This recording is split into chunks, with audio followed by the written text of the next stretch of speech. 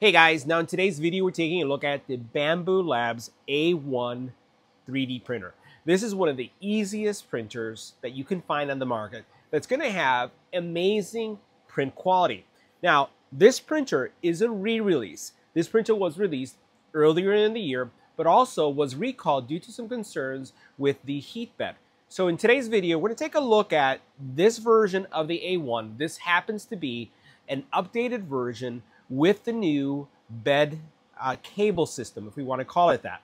Uh, this is straight from Bambu, so it's not one of the ones that has been, let's say, refurbished or where the bed has been replaced.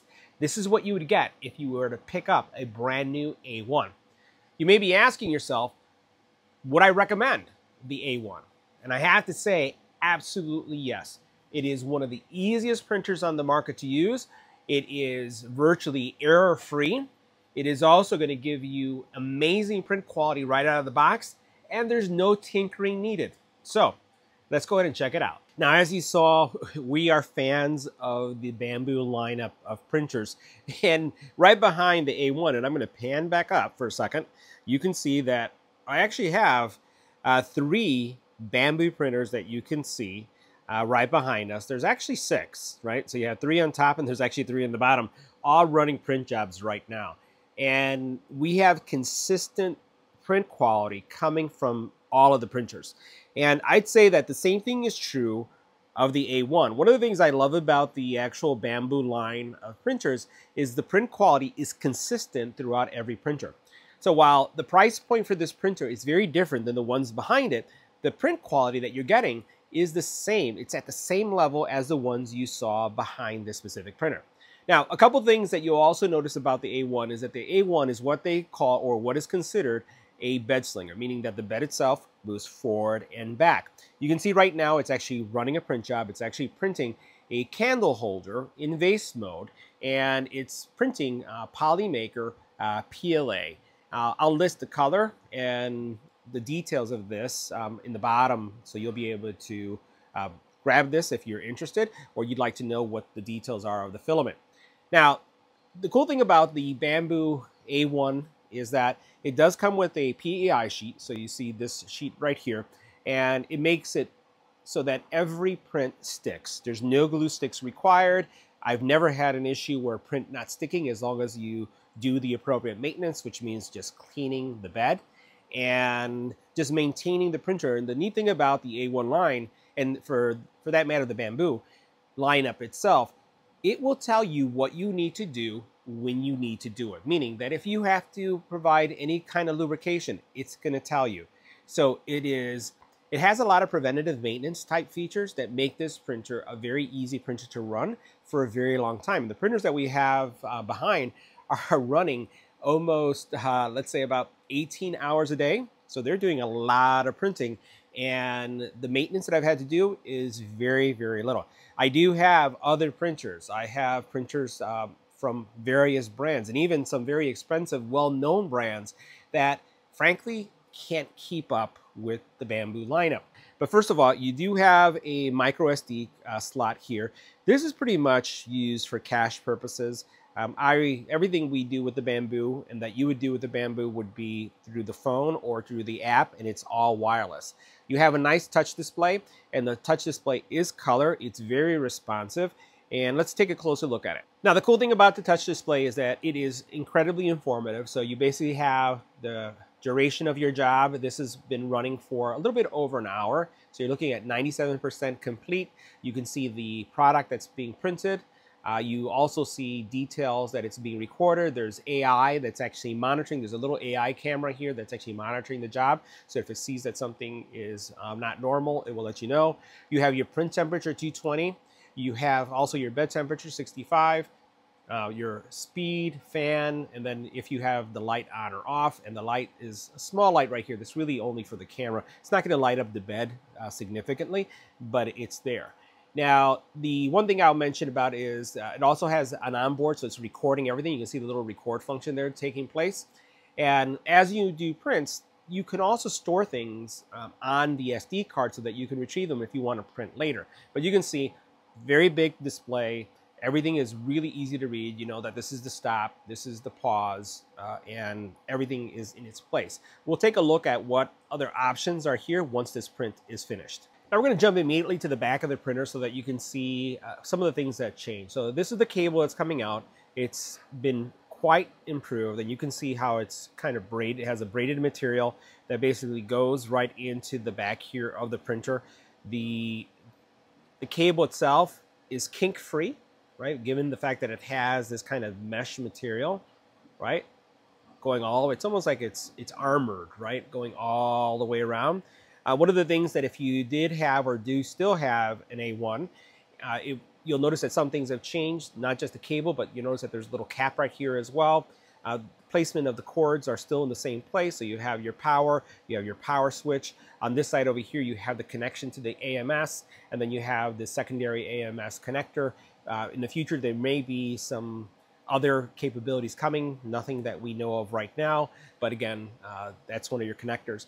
Now, one of the things that you'll notice here that I have, and we'll zoom out a little bit so that you can see this. Now, the printer itself does not include uh, this bracket. This is not part of the printer, this is an add-on, and we actually printed all these parts that you see here. We have what we call, or what is known as the poop tray, because it does uh, expel these little nuggets of poop as it's cleaning itself. So you're going to see one right here. So here's some poop. And I have this little thing right here on the side because what it does is it basically, uh, as it's cleaning itself and making sure that it has a clean nozzle, and also it's testing the filament to make sure that you have a good print, it basically is going to throw it into this little tray. Now, these arms that you see right here that appear on both sides are used for stability because in on the very top you'll notice that I had all the spools connected. This has what is known as an AMS and basically it has multiple material, multiple spools that you can run multiple colors um, and also then run you know various material types depending on the type of print that you're going to do. So you're going to be able to print a lot of different materials with this, not just PLA, PETG. Uh, you, there's other materials that you can print because of the nozzle itself. But one of the challenges that you have with a printer like this is that because it's an open frame, there are materials that require, I would say, better temperature control. In here in my space, it gets really cold, so I would have a lot of curling and probably eh, I'll stick just with PLA. The most what I do on this is PLA anyway, but some of the other materials like PLACF, or even some type of nylons may not work well because again it's not enclosed like the printers that you saw behind me. Now one of the things that you are seeing in the industry more now than ever and this is something that really Bambu brought to the 3D printing industry is the ability to have multiple print spools connected to a single printer. Now there are other solutions that have been out there, things that I've had as well that have not really worked super well when it comes to, uh, again, multicolor or multi-material. However, I will say that the Bambu line has just done fantastically well with these AMS systems. So this is what is called an AMS lite. The ones behind that you see kind of like those big ones, those are the standard AMS. And what they're able to do is hold four rolls of filament.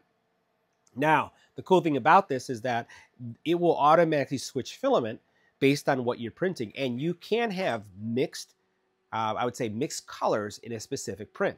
Now, for example, what you see right here, this is a scraper. This scraper here, I printed on this specific uh, printer. And I also printed uh, this guy right here, the actual blade itself. This blade was printed in ASA and the blade and the actual scraper holder was built or printed in PLA. Both of these are from Polymaker both of these uh, filament choices that I have here are both from Polymaker. Now, I also do have Bambu Lab filament as well that we've been using on it, and it prints flawless, absolutely flawless. Both of these are going to print really well. So, uh, the big change is that you have this, this again, this uh, again, AMS lite uh, that makes this printer very unique. Um, all your filament basically comes in through this tube. It gets uh, inserted or removed depending on what you're printing um, into this uh, print head what you'll notice is that this print head then has a little chute that as it's cleaning itself out, will drop it in here. And then what you have is, uh, again, this is your, again, your control module that goes into the actual uh, actual, I would say almost like CPU or, or where all the processing takes place so that everything knows what's going on. Now we have here the actual now the print's just completed and a couple things I just wanted to highlight. You can see that this took an hour and 15 minutes. On a standard printer, this would take a lot, lot longer. And you're gonna see how I remove the print. It's just easy to remove. You can report flaws. You can go ahead and send another print if you'd like. I'm just gonna go ahead and close this, right? And just show you some of the menu functions. So I could just go here into print files. You'll see I've been printing several of these different candle holders. We also been printing some jigs and things that we make. Um, I'm going to show you a print of a of a actually dice tower that came out fantastic using this material from Polymaker. And then you'll see, again, some of the stuff that we do. We do a lot of functional parts uh, in our 3D printing. So you have all your printers. You have over here your filament. So you'll notice it has right now three spools are being are loaded but actually only two of them I've identified. So you have PLA, PLA. These are both Polymaker.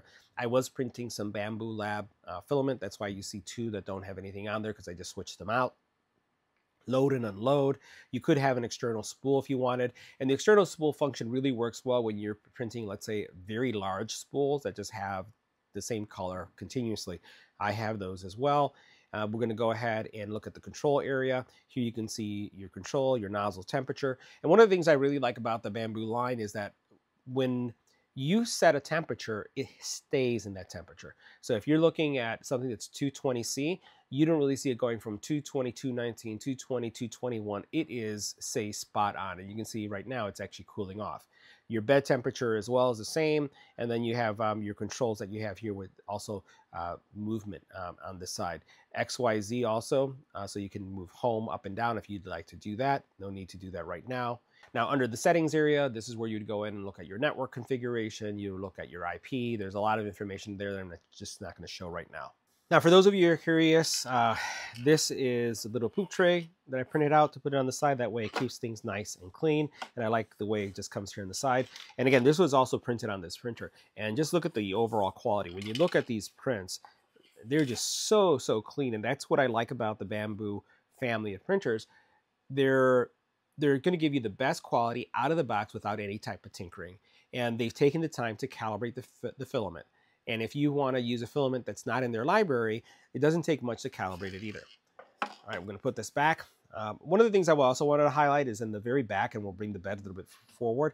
It does have this nozzle wiper right here, which also makes sure that the nozzle is nice and, I would say, clean. And you could get different nozzles as well. The nozzles you can go two, four, you could get a six and I think an eight. I think we have all of them here. And the larger the nozzle, it just means the faster it's going to print. This also, one of the cool things about this is that this printer, you can swap the nozzle out without any tools. Love that, right? So, and there's no cables. It's something that you just pop out easily. Now, if I want to remove this print, because of the type of bed that we have here, all I do is I just flex it like this, and I've already heard it coming off, and then it comes out just like that. Uh, the one thing that drives me a little nuts is the magnets on this are so strong that putting this bed back and making sure that it's aligned is something that sometimes is troublesome for me. Um, I don't know if it's for other folks, uh, so but for me it definitely is. Let me know if you find that it's really easy to put this back in. But I find myself, you know, struggling at times and putting it multiple times. I'm gonna have to see if there's something on um, the maker site to that would help me maybe align it so that it snaps in a lot easier because I always worry about this.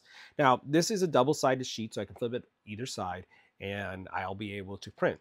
Uh, right now I'm using this side and I have no reason to switch to the other. So that's pretty cool. Now, check this out. Look how beautiful this is. So this is a candle holder. I'm going to show you in our kitchen what this really looks like with a candle inside. And what I love about something like this, and this was printed in vase mode, so you can see it's very thin.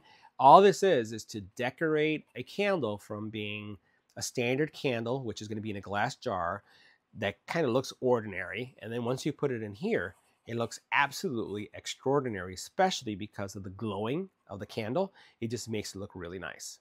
Now here's another part that we actually create and we actually print um, on this printer. And this is basically a fixture or a jig for laser engraving. It's a functional part. And this is actually for golf tees. And one of the things I love about, again, the Bambu line, and this is also using Polymaker PLA, this is the fossil gray, is the overall quality. Uh, this is just so clean and it doesn't matter you know, I can have six of these printers going and the quality is identical. If I were to do a caliper test looking at the the actual dimensions to make sure that they're accurate, they will all be the same. That's what you get when you get a Bambu Lab printer. Something that just prints. It just prints and it prints right every single time and they all print the same. All right guys, so now we're in our kitchen. I just wanted to show you what the candle holder looks like. And this is again, the kind of quality that you're getting from the Bambu Lab. So you can notice how there's like a, a slight silhouette in the background as the candle light is coming through. And this just dresses up a candle from being something that's just ordinary, right? We'll go ahead and pop one out. Something that just looks like that. And when you put it in something like that, it just changes it completely. And then when it's lit up, it gives you this nice glow effect. Look how nice that light that looks. This was again printed on the Bambu Lab A1. Awesome. Now, here's another print, one of many prints that we've ran on the A1. And I just want you to look at the detail here. So this is a dice tower, and this dice tower, the quality is spectacular, right? This is using Polymaker PLA. And look at that. Very little supports were printed with this thing, and they just came off so easily. And this is what I'm talking about with uh, the Bambu Lab series. Just gorgeous. Isn't that cool looking? Get a little closer there. Probably some little stuff that I got to clean up here and there, but still spectacular print. And this first layer is also awesome. If we look at this one over here, look at that layer. Super awesome. And then if we look at that jig again, again, super clean as well. So overall, uh, the printer is a fantastic printer. If you're looking for the easiest printer, again, easiest printer on the market, the one that's going to print every time, the one that's going to give you fantastic prints, stuff that looks like this, or maybe not as scary as this, the A1 series, or just for that matter, the Bambu Labs series as a whole will give you an amazing printing experience.